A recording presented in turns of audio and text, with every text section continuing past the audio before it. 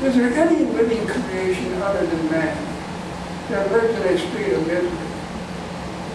If man had any redeeming value, one would think, he wouldn't think of others with disdain. Man's occupation and preoccupation is strive by any means in reference to demean his sister and brother.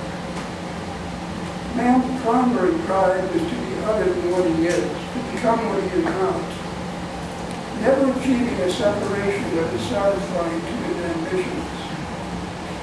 This attempt to be different in uncommon ways one strives for every hour of the day.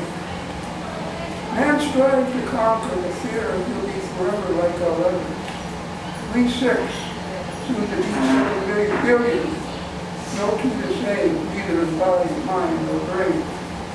We, all of us, are as unique the in the sky with the individual grains of sand and a cloud of peach, what more could we hope to achieve?